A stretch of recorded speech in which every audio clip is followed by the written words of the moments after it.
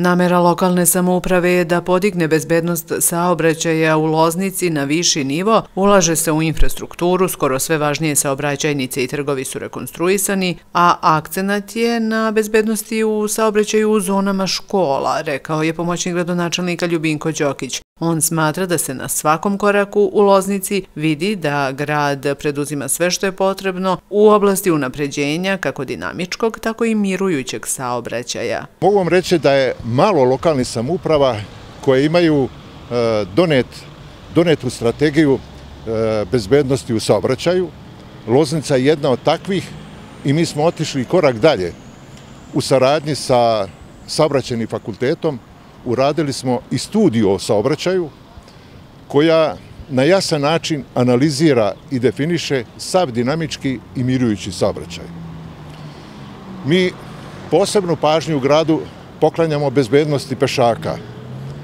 Posebno u prostoru oko škola gde se kreću deca. Mogu vam reći da uređenost jedne lokalne samuprave ili uređenost jednog grada se ogleda u njegovom odnosu prema najslabijim i najranjivijim, a djeca jesu najslabija i najranjivija kategorija. Ako to sve imamo na umu, onda je jasno zašto gradonačelnik insistira da se i te raskrsnice pored škola regulišu e, s semaforima. Mi u našem gradu imamo do sad osam raskrsnica koje su regulisane semaforom, a želja nam je da regulišemo i ove tri dve koje se nalaze pored škole tehničke, medicinske i ekonomske i jednu raskrsnicu e, na Šabačkom putu kod Lukojili pumpe. S obzirom da ove saobraćajnice su u nadležnosti puteva Srbije za postavljanje semaforske signalizacije, potrebno je proći jednu proceduru. Mi kao grad smo raspisali javni poziv, izabrali izvođača, izvođač je uradio projektno rešenje koje je dostavljeno putevima Srbije na saglasnost. Putevi Srbije su imali svoje zahteve, projektant je upodobio sve po njihovim zahtevima.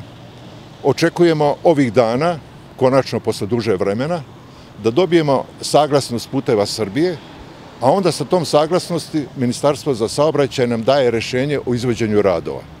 Dakle, jeste potrajalo, ali evo privodimo celu tu aktivnost, jer i nama je stalo da se to završi, jer bezbednost je i nedeljiva i za nas vrlo važna. U budžetu grada Loznice za postavljanje semaforske signalizacije na još tri raskrsnice planirano je 10 miliona dinara. Posebna pažnja posvećena je prostorima pored školskih objekata, već su postavljene zaštitne ograde, pešačke staze, ležeći policajci tamo gde je to moguće, kaže Đokić. Da, ako je moguće, se postave video portali koji signaliziraju vozačima da se nalaze u zoni škola.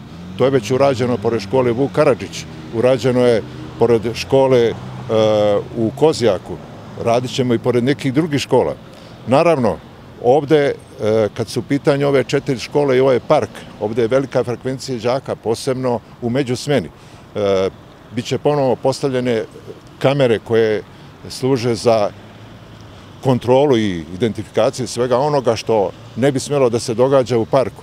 A naravno, u pitanju će biti i kamere koje će se postavljati na koje mere brzinu, a te kamere će biti postavljene na prilazima gradu, znači Šabački put, ulica Republike Srpske, Valjevski put.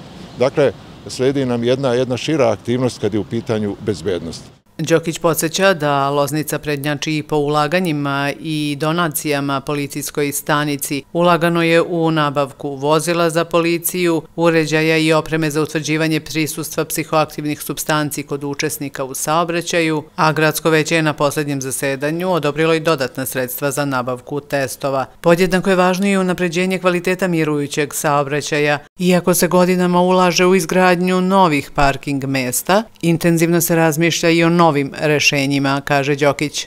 Naš grad je u ekspanziji i sve veći broj automobila u gradu, s obzirom, svi to znamo, dolaze investitori. Broj automobila se povećava. I neminovno je, a i želja gradonačelnike jeste da se u našem gradu u nekom doglednom periodu gradi jedna e, garaža za parkiranje svih tih vozila, jer prosto smo nadrasli da jednostavno bez toga više nije moguće.